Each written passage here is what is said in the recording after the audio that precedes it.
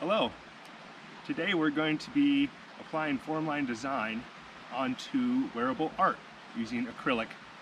I have prepared this flat brim hat and I have put a nice coat of, of, uh, of base white on it and then my background color which is a turquoise.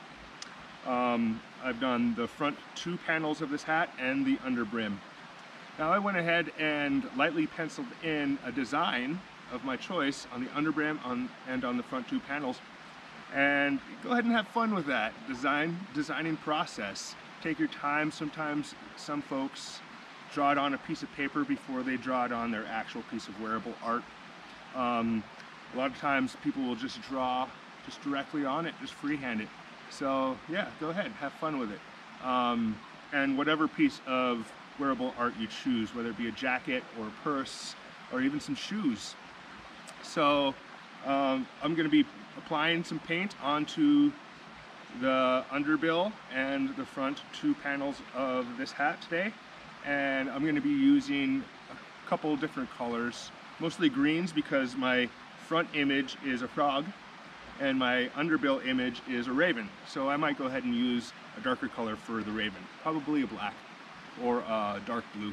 So we'll see about that. So go ahead, join me here and we'll start painting.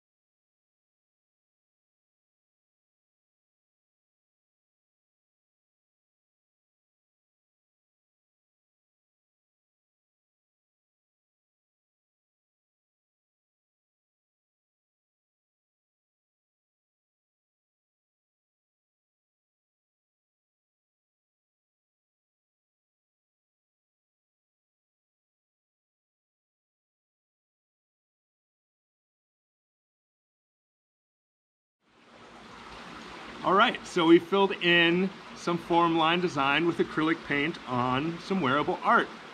I went ahead and used a darker color on the larger areas of formline. I used a lighter color green for the accents, and for the little asterisks, I used red. Um, I'm gonna go ahead and add another layer of paint on all of this to be able to uh, have solid colors. And I'm gonna go ahead and also outline a lot of the formline and the edges with like a black, um, I like to use, uh, I like to use acrylic markers for that.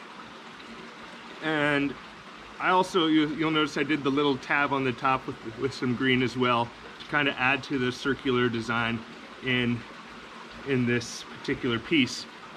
Um, yeah, so I'm gonna do those things later. I'll also go ahead and coat this with an acrylic water-based uh, sealant.